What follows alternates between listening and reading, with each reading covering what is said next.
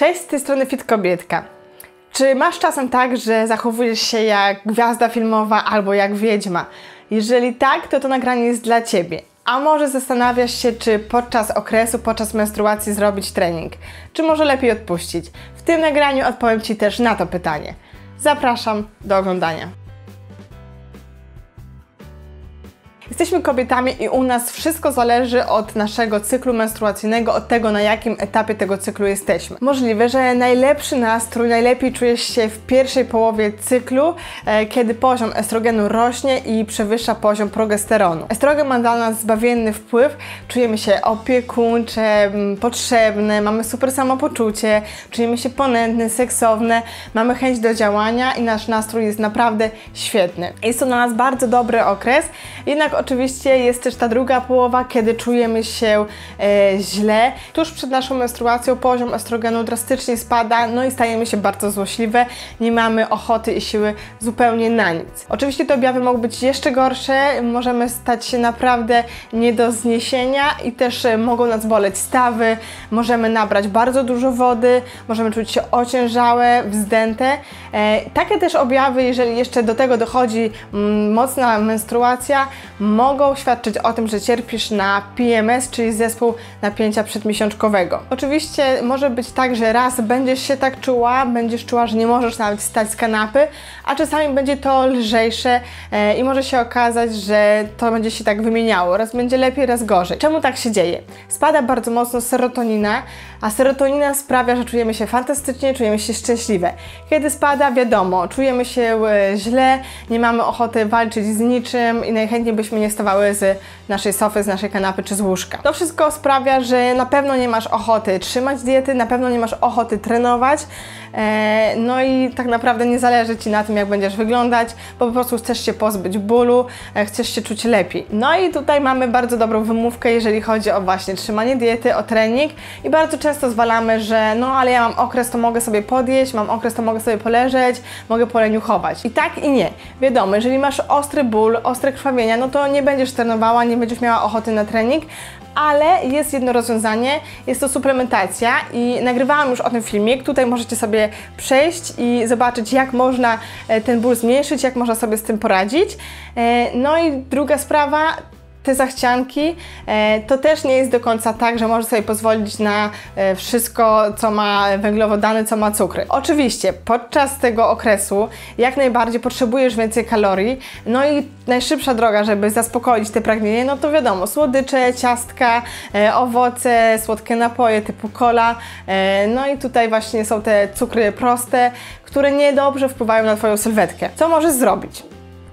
Możesz oczywiście zamienić te węglowodany na węglowodany złożone, czyli dalej trzymać zbilansowaną dietę, e, jeść ryże, kasze, ziemniaki w odpowiedniej ilości, tak żeby dostarczyć e, dużo energii, e, no i mieć tą siłę, ale nie e, obiadać się pierwszym, lepszym produktem, który znajdziesz w domu. Kolejnym problemem, jaki możesz spotkać oprócz zachcianek, e, to duże wzdęcia i problemy trawienne. Może zdarzyło Ci się tak, że nie mogłaś dopiąć jeansów albo nie mogłaś założyć swojej ulubionej sukienki, ponieważ gdzieś tam w ciele zgromadziła się woda. Dzieje się tak oczywiście przez nasze hormony. Estrogen zwiększa poziom wazopresyny, a ta odpowiedzialna jest właśnie za, za tą naszą e, gospodarkę e, wodną, za to, że gromadzimy tą wodę i te naczynia krwionośne nasze się zwężają, przez co możesz czuć, że nie możesz dopiąć spodni, że gdzieś ta woda się zgromadziła, a Twoje mięśnie nagle zniknęły. Do tego dochodzi progesteron, który wpływa na aldosteron, a ten z kolei wpływa na poziom przyswajania u nas sodu. Kolejnym problemem są częste bóle głowy. Mi zdarzają się rzadko, ale kiedy już są, to są nie do zniesienia. E, oczywiście dzieje się tak za sprawą estrogenów, naszych hormonów. No i co za tym idzie? Co możesz zrobić? Tutaj bardzo dobrym rozwiązaniem jest dieta, a konkretnie włączenie do niej takich produktów jak granat, arbuz i szpinak. E, one mogą pomóc zniwelować ten ból głowy. E, no oczywiście równie dobrze możesz wziąć ibuprom, aczkolwiek ja nie polecam, nie stosuję takich środków przeciwbólowych, dlatego tutaj bardziej działamy dietą. A teraz szybko odpowiem Ci na pytanie, czy warto trenować i czy są na to jakieś badania i jak to w ogóle wygląda.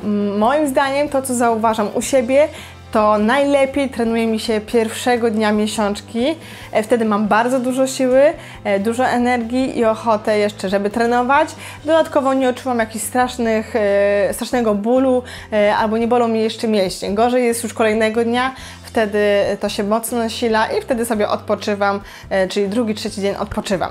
Ale dzień przed miesiączką, pierwszy dzień jak najbardziej to są bardzo mocne treningi w moim przypadku. Kiedy zbliża się miesiączka, to nasz organizm przychodzi w taki tryb relaksu.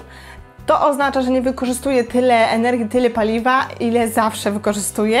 Dzięki temu mamy tam gdzieś jakieś zasoby dodatkowej energii, dodatkowego paliwa, które właśnie warto wykorzystać na trening. Czyli okazuje się, że kobieta jest silniejsza właśnie wtedy, kiedy zaczyna miesiączkować. Potwierdziło to badanie, które zostało wykonane na e, pływaczkach. Kobiety, które pływały, najgorsze wyniki, najgorsze czasy e, zyskały właśnie przed miesiączką, czyli w tym, w tym czasie, kiedy e, źle się czujemy, kiedy nie mamy siły, a najlepsze właśnie w pierwszy dzień miesiączki, dzień przed miesiączką. W tym czasie wydolność bardzo mocno wzrasta, więc nawet jeżeli jesteś e, biegaczką, jeżeli biegasz, to też e, spróbuj sobie pobiegać dzień przed miesiączką albo właśnie w pierwszy dzień miesiączki. Zobaczysz, że Twoja wytrzymałość będzie dużo większa. Oczywiście jest ten mały minus. Może się okazać, że będzie nieco e, zaburzona synteza białka poprzez te nasze hormony, dlatego też możesz nie widzieć jakichś super efektów, jeżeli chodzi o budowanie budowanie mięśni, o budowanie masy mięśniowej. Podsumowując, okres, w miesiączkę, w pierwsze dni, dzień przed miesiączką warto trenować, możesz wtedy czuć się dużo silniejsza, możesz mieć dużo więcej energii. Jeżeli chodzi o okres przed miesiączką, to warto zacząć już suplementować się właśnie magnezem, e, pić zioła, tak żeby zapobiec tym skurczom, bólom, e, żeby nie czuć się bardzo mocno wzdętą. E, dzięki temu też Ty będziesz się lepiej czuła, jeżeli chodzi o Twoje samopoczucie. Co możesz zrobić? Możesz też odpocząć, możesz się zrelaksować, no i przede wszystkim pamiętaj, że to jest czas, kiedy organizm pozbywa się toksyn, oczyszcza się w pewien sposób, dlatego też warto w tym y, dniu zadbać o siebie, o higienę, e, o aktywność, o dietę, żeby wszystko było ładnie dopięte i żebyś nie odczuwała tego jako czegoś złego, czegoś męczącego. Tego Ci oczywiście życzę, e, sobie też, żeby było nam jak najlżej. No i dajcie znać w komentarzu, jak Wy przeżywacie swoją menstruację, czy trenujecie, czy jednak całkowicie odpuszczacie. Pozdrawiam, Marta.